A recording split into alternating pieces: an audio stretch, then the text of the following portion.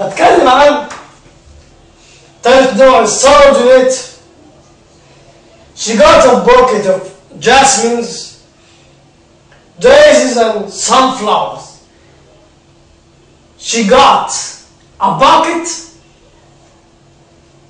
of jasmines, daisies and sunflowers.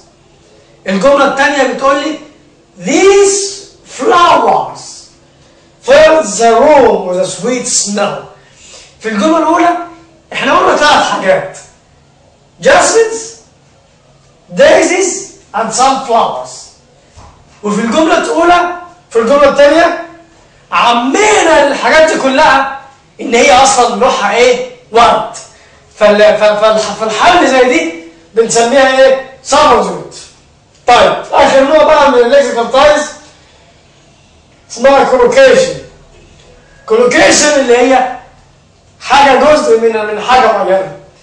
زي this means the habitual co-occurrence of individual lexical items which are predictable, pre- predictable due to the context. When examining the flower, he saw that its petals, leaves, and stem were all withered.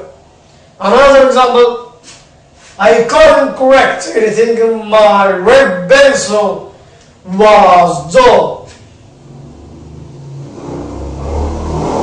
Five major types of cohesion reference substitution ellipsis, conjunction lexical ties are all affecting showing explicit links between parts of the text and keeping it unified they are easy to locate in any text. Last,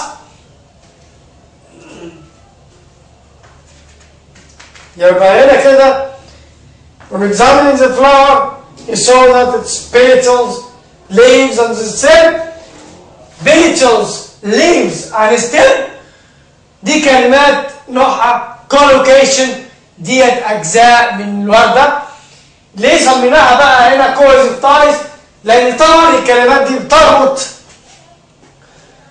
الجملة الأولى بالجملة الثانية. بتربط الجملة الأولى بالجملة الثانية. لأن ديت ليها علاقة بالجملة الأولى. ليها علاقة بكلمة الورد. لأن دي أجزاء من الوردة. ماشي؟ وكذلك لو رجعنا تاني للورا. والسلام وكده خلصنا على فكرة الوحدة. وأشوفكم على خير. والسلام عليكم ورحمة الله وبركاته.